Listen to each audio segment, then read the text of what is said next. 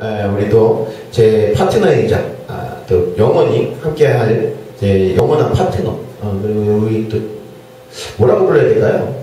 저는 집에 있을 때 뭐 부인 아니면 뭐 집사람 이렇게 부릅니다. 네, 애늙은이 같아서 뭐 어떻게 뭐 들릴지 모르겠지만 자 저희 영원한 파트너 우리 다홍이를 소개하겠습니다. 진짜 박수 한번 주시기 바랍니다.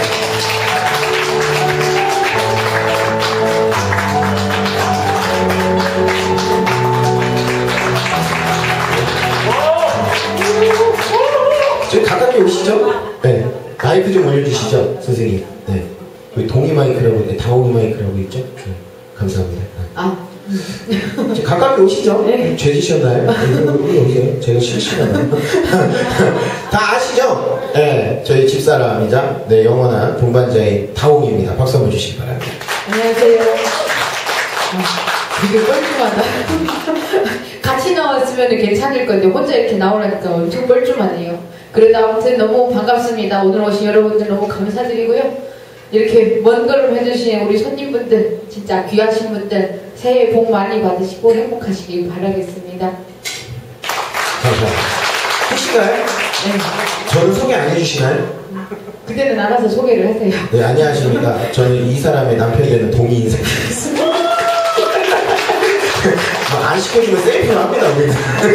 뭐 굳이 뭐 안 바랍니다. 어쨌거나 이 겨울에 그것도 눈 오는 이 악조건 속에서도 이렇게 찾아주신 여러분들께 다시 한번 정성껏 감사하다는 의미를 담아갖고 저희가 큰 절 한번 올리면서 여러분들께 함께하는 시간 한번 올라가 보도록 하겠습니다. 새해 복 여러분, 새해 복 많이. 받으시기 바랍니다.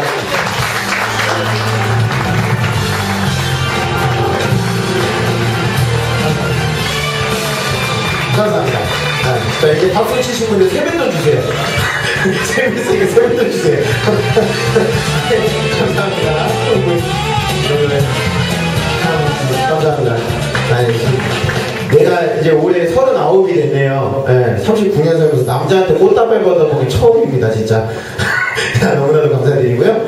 자, 그러면은, 다홍이가, 어, 옷을 갈아입는 동안에, 제가, 어, 여러분들 심심하지 않게 노래 한 곡 올려드리고, 아, 다홍이와 함께하는 시간 올려드리도록 하겠습니다. 그 노래 한번 할까요? 아, 이번에 혹시 뭐 좋아하시는 노래 있으십니까? 짝사랑 하나봐? 그 노래나 한번 할까요? 네, 별로 안 좋아하시는 것 같아요. 저쪽 테이블에서. 저쪽 테이블 좀 저, 저 아시잖아요. 제 성격 별로 안 좋은 거. 예, 이렇게 까칠하게 하시면 안 합니다. 예, 아니고 이먼 거를 또 오셨는데, 예, 한곡 짝사랑 하나봐. 그거, 다홍이 가는데 남자에서 어떻게 했더라? 남자만 남자만 눌러줘 보세요. 그러니까 남자 아니면 남자 하나. 짝사랑 하나만 올라가면서 분위기를 한번 띄워볼 테니까 자, 다 같이 박수 치면서. 그리고 순아야 좀 이따 이 게임에 가고 내가 5억을 줄 거거든. 되게 이제 앞으로 옮겨줘. 어, 테이블 앞으로. 그렇지.